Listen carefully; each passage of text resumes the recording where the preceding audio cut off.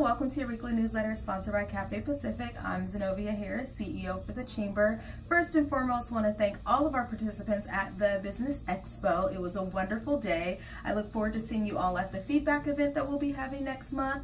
Special special shout out to our presenting sponsor, which is Brumley Law Firm. Click the button down below to learn more about Brumley.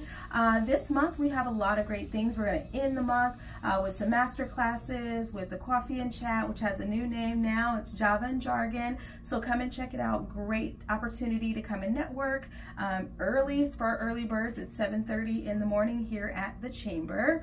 Um, and then we, again, we have so many different events. And again, it's that time of the year where we are hosting our annual legislative update. So we have about 80% of our legislators slated to be at our luncheon, uh, which is going to be the first Thursday in June. And of course, for more information, click down below. But thank you all so much. Summer's on its way. We look forward to seeing you at all the different events that we have going on.